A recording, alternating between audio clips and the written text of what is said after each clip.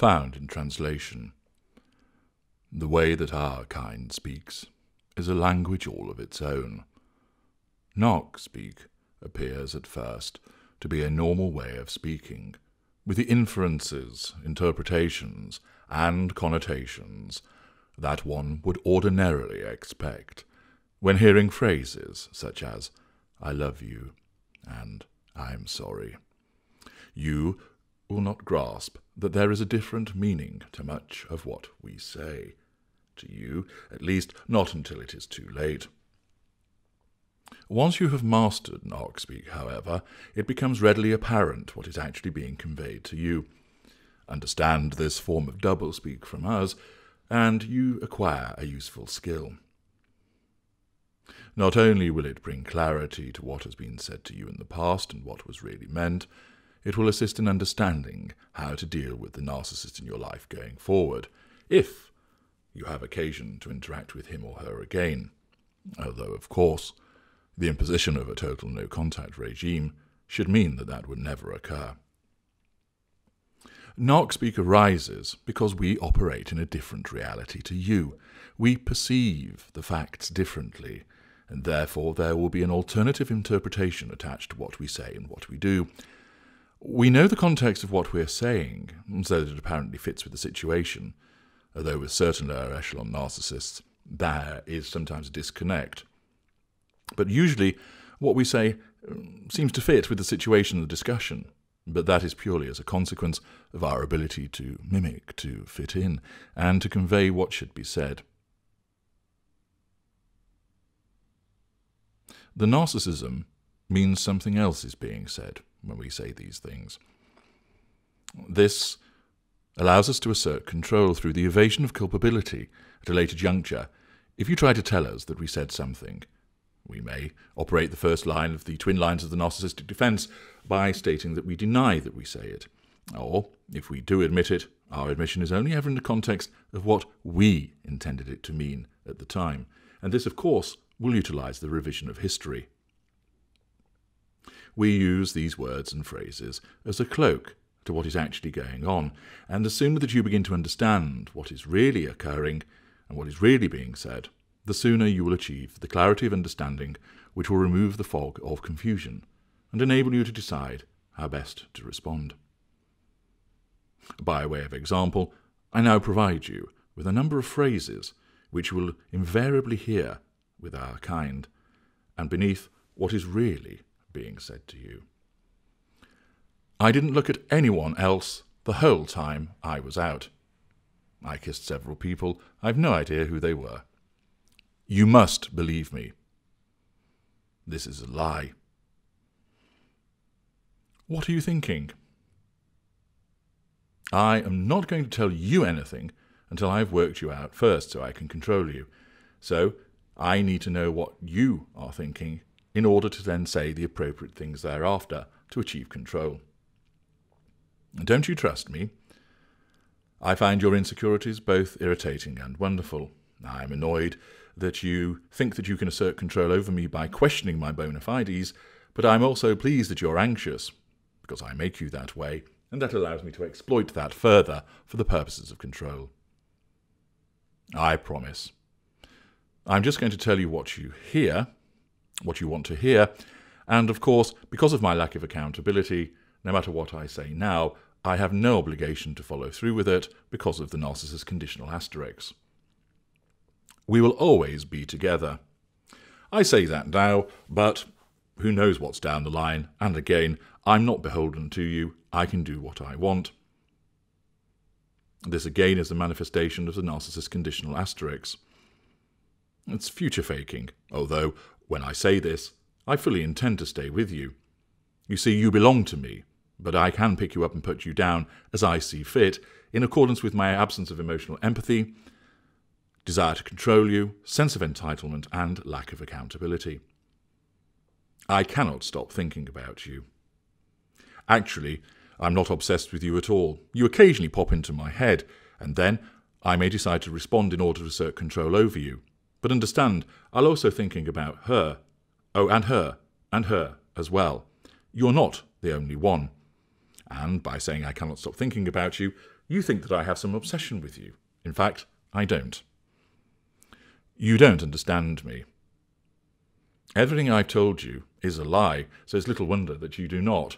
And I say this, of course, to offend your truth seeker trait, because you want to understand, and so that you'll try harder to do so. The fact is, unless you access the work of H.G. Tudor, you will not understand me. And that's the way it has to be, because the more confused you are, the easier to control you are. I like you. Here, have a compliment because you're doing what I want. You're under my control. Keep it that way. I need some time to myself. Actually, I'm going to spend the night with your best friend, but of course I can't tell you that, so I'll make it sound like I'm a fairly complex and deep individual where I need time to myself to work things through. We are just friends. We have slept together, and we will again. And, of course, I cannot admit that to you, so I have to disguise it as friendship. I'm just so confused. I'm not, but this is a pity play. I actually want someone else now. But if you think that I'm confused, this will give you hope, which of course is a false mistress, but it will give you hope that somehow you can remove the confusion, in accordance with your empathic trait of desire to heal and fix. We have nothing in common. This is a devaluing comment. Of course, I made it seem as though we had everything in common, but it was all false. None of it was genuine because I was mirroring you, and that is what I have to do in order to control you. So the fact is, we never had anything in common. I just made it look that way. You will always be special to me, no matter what happens. You aren't special at all. Of course, I think that you are when I'm idealizing you, but you're just like all the rest. Of course, again, I say this to future fake you in order to assert control over you. The desire to control you is always there, and the residual benefits of fuel, character traits, are ones which I will keep coming back for. It was nothing serious. You, of course, think that it's entirely serious, but I don't, because I cannot be held to account, and I have a sense of entitlement to do what I want, in order to ensure that I am the one that asserts control. And it was not serious to me, but you will certainly regard it as serious. I didn't do it. Of course I did. I'd like to see you again. I think you're coming under my control, and I perceive that you will be very good for the satisfaction of the prime aims.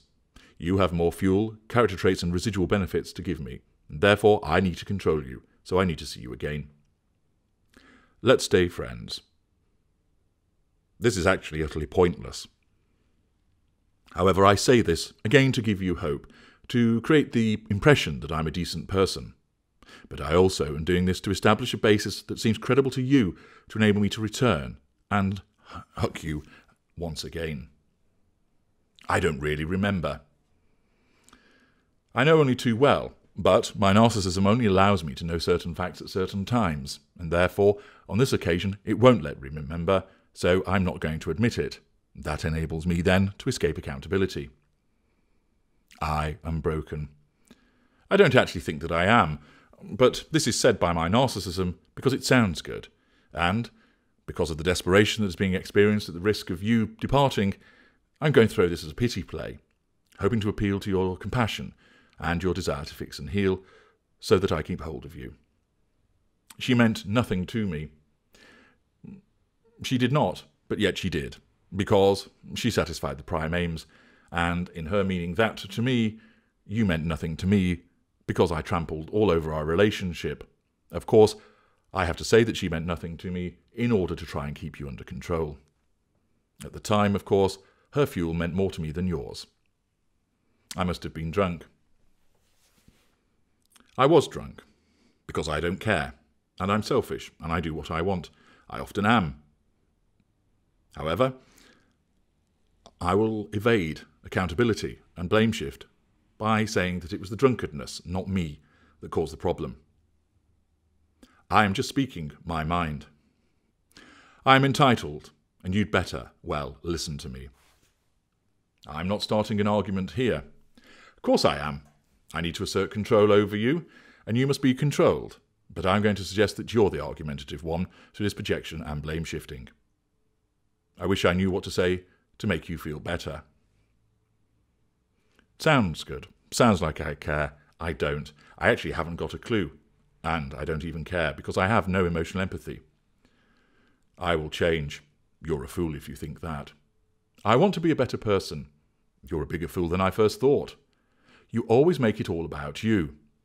But of course, it should all be about me. I've no idea who she is. I've slept with her at least half a dozen times. Of course, I can't admit that to you because that would threaten my control over you. So, with no emotional empathy for either of you, I slept with her despite being in a relationship with you, and now I claim that I've no idea who she is. I don't recognize that number. I do. Why is she calling me when I told her not to? I'm not with anybody. Of course, I'm not. I'm not attached to anybody. I attach people to me, but for the purposes of ensnaring you, I'm not going to admit that I'm with anybody, so that doesn't stand in the way of my ensnarement of you. It is all rather complicated. I'll make it sound deep and mysterious and complex. It's not. It's just all bullshit designed to confuse you. I didn't mean for that to happen. Of course I did. My narcissism did so. You made me do it. I can never accept responsibility, because if I do, that threatens my control. You don't have to if you don't want to. Goodbye. I don't know who I am sometimes. Ooh, that sounds deep. She will love that. I love you. I expect you to do what I want all of the time. And this is done to control you. I actually love your fuel, but I have no concept of what love really is because I have no emotional empathy.